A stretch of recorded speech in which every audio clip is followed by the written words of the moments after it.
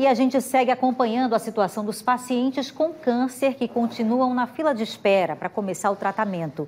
O repórter Bruno Protásio foi conhecer a história de Ítala dos Santos, que sofre em pensar que precisa trabalhar e criar as três filhas. E o tratamento dela ainda nem começou.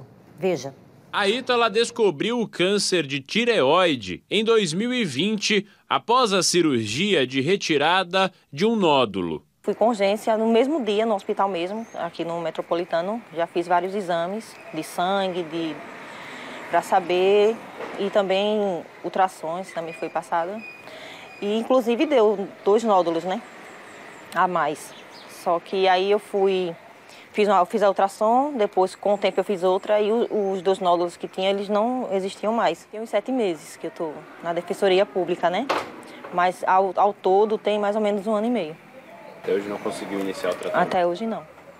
A Ítala não é a única que aguarda o início do tratamento de câncer em Alagoas. Segundo a Defensoria Pública Estadual, atualmente existem pessoas na fila de espera. A Secretaria Estadual de Saúde assegurou que vai fazer um mutirão a partir do dia 1 de outubro. Na reunião com a Defensoria Pública, a CESAL também se comprometeu em acabar com a fila de espera nos próximos seis meses. Para a Ítala, que aguarda há tanto tempo, será um alívio, porque sem o tratamento, todos os dias, ela teme o que pode acontecer. Tem sido doloroso, né? Pela preocupação, é, a questão também de, de, de trabalhar, né? Porque para trabalhar fica complicado na empresa, né?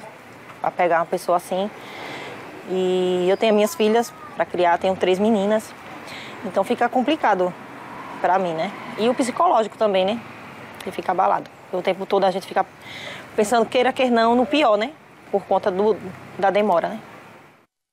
Já imaginou que é você saber que tem um diagnóstico de câncer e não ter a previsão de quando é que vai começar o seu tratamento?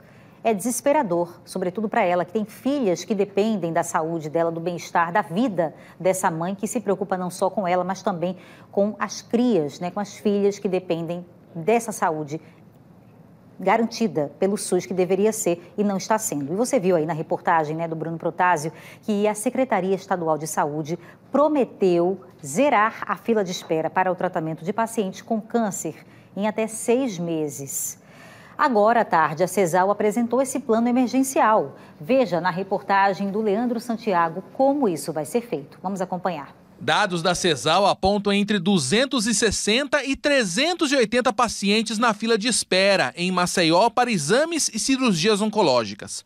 A expectativa do plano é zerar esta fila em até seis meses. Essas pessoas estão há muito tempo esperando por isso, então nós vamos entrar emergencialmente para resolver essa demanda reprimida. Essa é a primeira ação.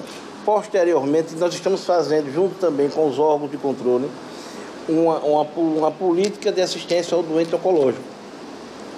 E nessa política nós vamos cobrar também aos órgãos de controle que fiscalizem as prefeituras, principalmente a Prefeitura Municipal de Maceió. Entre as medidas apresentadas para zerar esta fila estão a implantação de triagem para pacientes oncológicos nas clínicas da família. O plano ainda prevê uma parceria com o Hospital Universitário para exames oncológicos. Além disso, outros cinco hospitais em Alagoas devem fazer esse tipo de exame.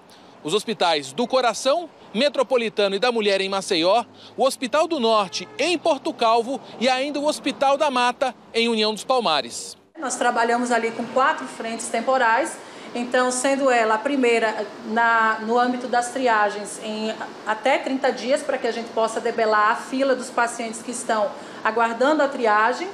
É, e também, a partir da, da triagem, esses, esses pacientes serem, iniciarem os seus exames de imediato, a partir do resultado dos exames, que levam em torno de 15 a 20 dias, a depender do exame, para se ter o resultado, a gente dá início às cirurgias dentro da rede. Então, o fechamento do plano emergencial é para que ele se execute em, 180, em até 180 dias, para podermos zerar essa fila. A execução do plano terá o acompanhamento da Justiça. Nós também atuamos em colaboração e em parceria, sob constante acompanhamento de todos os órgãos de controle, Defensoria Pública da União em Alagoas, Ministério Público Federal, Procuradoria da República em Alagoas é, Ministério Público Estadual, Promotoria Afeta as questões de saúde e também a Defensoria Pública Estadual de Alagoas. Todas elas acompanharão e receberão ativamente os números e os controles de prazo feito pelo gerenciamento de projetos inerente a esse plano emergencial de atuação é, e, e defesa de pacientes com câncer em Alagoas. O plano será iniciado no dia 1 de outubro. Os pacientes serão localizados pela CESAL. O programa ele passou por dois grandes módulos. O módulo estratégico de planejamento, ele se encerra hoje e agora se inicia a etapa de execução desse plano. Então, os ajustes operativos específicos, finos, estão acontecendo nesse momento entre os nossos setores de regulação, que é o setor que efetivamente encaminha o paciente, vai buscá-lo e leva esse paciente conduzindo até o serviço, até o hospital, a clínica onde ele vai ser tratado.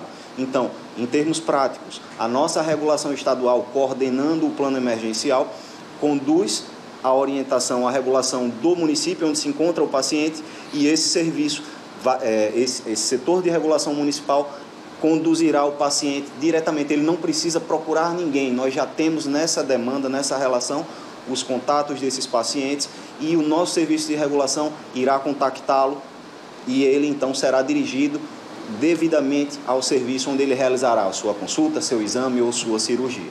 O conjunto de ações é emergencial, mas nós estamos paralelamente formulando uma nova política ao doente oncológico pelo Estado de Alagoas, permanente, tanto para fiscalizar o atendimento desses doentes, como para auxiliar no que for necessário.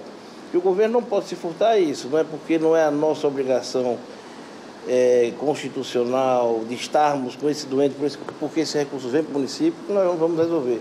Pessoas estão sofrendo, têm que ser operadas, o governador determinou que isso tem que acabar e nós vamos acabar essa fila.